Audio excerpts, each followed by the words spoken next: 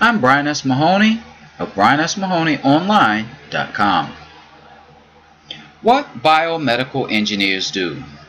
Biomedical engineers analyze and design solutions to problems in biology and medicine with the goal of improving the quality and effectiveness of patient care.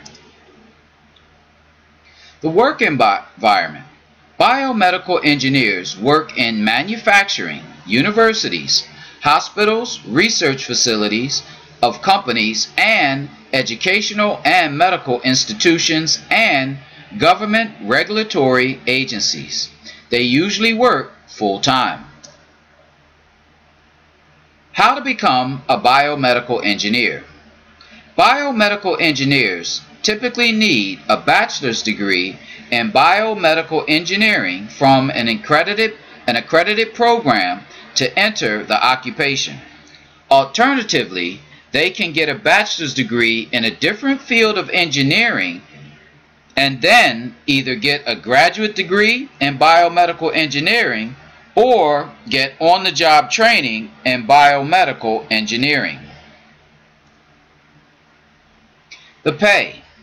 The median annual wage for biomedical engineers was $86,960 in May of 2012. The job outlook. Employment of biomedical engineers is projected to grow 27% from 2015 to 2022, much faster than the average for all occupations.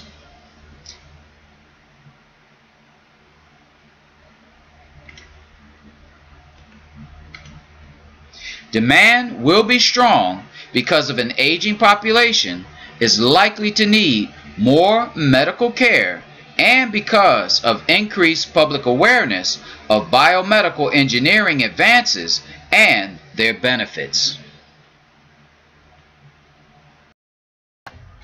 Application Resume Many jobs require job seekers to complete an application instead of submitting a resume. But an application is a resume in disguise. Its purpose is to show your qualifications. Assembling the following information about yourself in advance will make it easier to complete applications and resumes. Identification. Be prepared to give your name, address, phone number, and social security number. You may also need to bring proof of identification when you pick up and drop off the application. Employment history. List the month and year you started and ended each job, your supervisor's name, address, and phone number, your job title, location, salary, and major duties, and your reason for leaving. Education and certification. Know the name and city of the school you attended and the year you received your degree and the name, level, and award and renewal dates of certification. Special skills. List any special skills you have that are closely related to the job, such as computer applications or equipment operation. References. Provide the names, phone numbers, and addresses of three or four people who have agreed to recommend you. When you pick up an application, don't miss an opportunity to make a good first impression. Dress as you would for the job.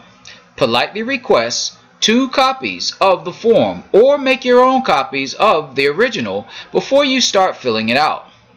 Read the entire application before you begin. Then use one copy as a rough draft and the other as the final product. Write neatly with black ink. Answer every question on the application. Write not applicable or none if a question does not apply to you. Some reviewers suggest answering will discuss in interview if asked for information that might disqualify you. Make a copy of your completed application. If you go back for an interview, take this record with you. Having a completed form will also make it easier to fill out the next one. Although forms do not offer the same flexibility as a resume, you can still find ways to highlight your best qualifications.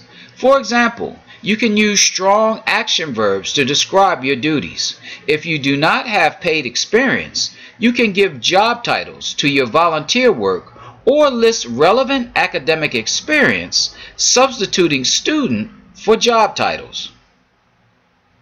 Computer applications. If you are filling out an application for a computer database, you will want to use keywords and simple formatting. Put the most important information first. Include as much information as you can for each question without becoming wordy or repetitive.